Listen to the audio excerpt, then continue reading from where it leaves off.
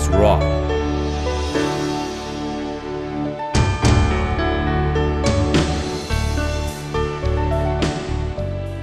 Hi everybody!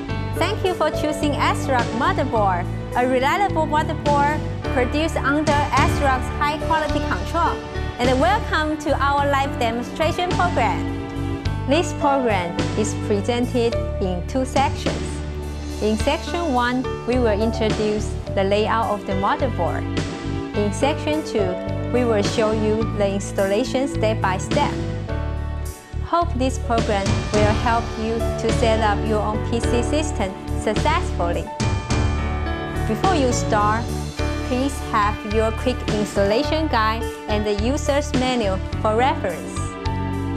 Okay, are you ready? Let's go to the next section.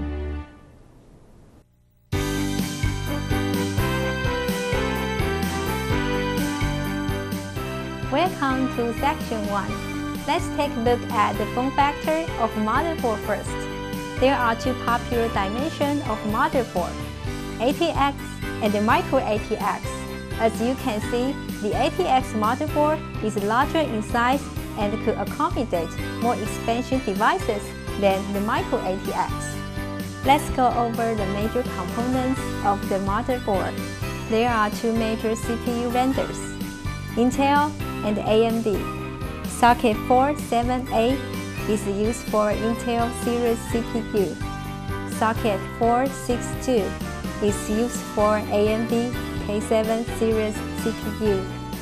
As for the memory modules, there are two types of memory modules, DDR-DIMM and SDRAM-DIMM. The DDR-DIMM has 184 pins, and the SDRAM-DIMM has 168 pins. They can be easily distinguished because of the foolproof design. There are three types of expansion slots on this motherboard. AGP slot, PCI slots, AMR slot. By the way, the ASRock AGP slot has a special locking mechanism which can securely fasten the graphics card inserted. Next, let's take a look at connectors. The connectors are used to connect devices and the motherboards.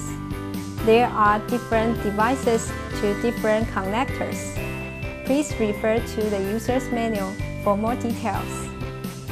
Here, I would like to introduce the most important connectors. Floppy connector, two sets of IDE connectors, this is primary IDE connector. This is secondary IDE connector.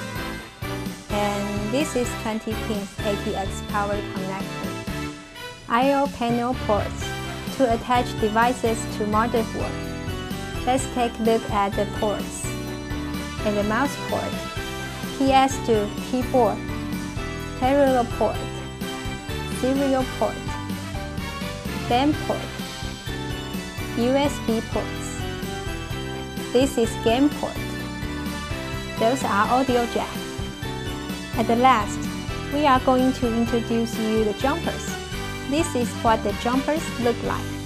Sometimes you need to adjust the jumper setting in order to fit your special needs.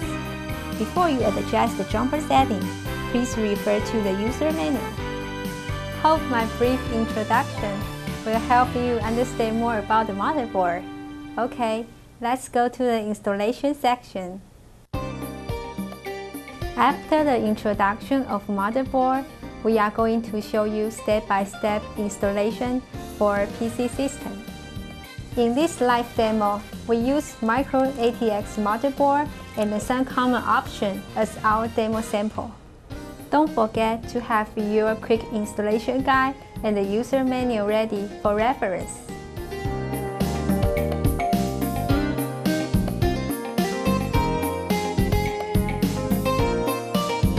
Before you install or remove any component, ensure that the power switch is off or the power cord is detected from the power supply.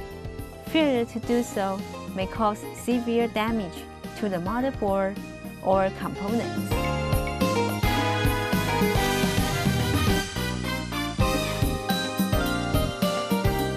Now, we are going to install the CPU onto the motherboard. Before you install the CPU, please remember to prepare some thermal grease. Thermal grease can improve heat transfer, and it's spread between the CPU and heatsink. If there is no thermal grease used, the CPU may be damaged due to overheat. Step 1. Unlock the socket by lifting the lever up. Step 2. Position the CPU directly above the socket, such that its marked corner matches the base of the socket lever. Step 3. Carefully insert the CPU into the socket until it fits in place. Step 4. When the CPU is in place, press it firmly on the socket while you push down the socket lever to secure the CPU. Step 4. Install CPU fan and heatsink. For proper installation, please refer to the instruction manuals of CPU fan and heatsink vendors. Next, we are going to install a memory module onto a motherboard. Step 1. Unlock a DDR DIMM slot by pressing the retaining clip outward. Step 2. Align a DIMM on the slot, such that the notch on the DIMM matches the break on the slot. Step 3. Firmly insert the DIMM into the slot until the retaining clip snaps back in place. Then, we can place the motherboard onto the chassis. You can see there are several holes on the motherboard and each hole has its coordinate screw holes on the chassis. To secure the motherboard to the chassis, first, we have to match each hole on the motherboard with its coordinated screw hole on the chassis. And then place screws into the holes and tighten them. Now, we are going to show you how to install an add-on card into an expansion slot. Before installing the expansion card, please do read the documentation of the expansion card and make necessary hardware setting for the card. Now, we will demonstrate you the AGP add-on card installation. Step 1. Remove the bracket facing the slot that you intend to use. Step 2. Align the car connector with the slot and press firmly until the car is completely seated on the slot and lock on the locking mechanism. Step 3. Fasten the car to the chassis with screws. Next, I will show you the basic process of jumper adjustment. The jumper setting is easy, but need to refer to the jumper setting description in your user manual. Now, I will show you the basic process of jumper adjustment. You could see the jumper, which has three pins. And this is jumper cap, which is used to connect the signal between two pins. The jumper pin without jumper cap connected is called open. The jumper pin with jumper cap connected is called short. As to the detailed jumper setup information, please refer to your quick installation guide and user manual. In this section, we are going to show you how to connect the hard disk, floppy disk, CD-ROM, and the power supply through the connectors to the motherboard. As to the other devices, please refer to the user manual or quick installation guide. Before the installation, let's take a look at these cables. There are three cables on the table. The floppy disk cable, the 80-pin IDE cable, and the 40-pin IDE cable. These ends of the cables should connect to the motherboard, and this end should connect to the devices. Now, we are attaching the floppy disk. Connect this end to the floppy drive. And the other end to the floppy connector. We are attaching the IDE hard disk. We use the 80-pin IDE cable. Connect this end to the hard disk.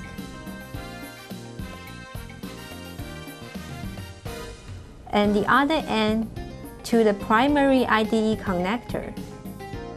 Next, we are attaching the CD-ROM. We use the 40-pin IDE cable. Connect this end to the CD-ROM and the other end to the secondary IDE connector. To optimize compatibility and performance, we suggest you connect your hard disk drive to the primary IDE connector and the CD-ROM to the secondary IDE connector, just like what we have been demonstrated. In this section, we are going to show you how to connect internal devices to the motherboard. Next, we will plug the power supply to the ATX power connector. First, we take the 20-pin 12-volt power connector from the power supply. Then, plug it into motherboard's 20-pin ATX power connector. Now, we are going to show you how to attach external devices to the I.O. panel.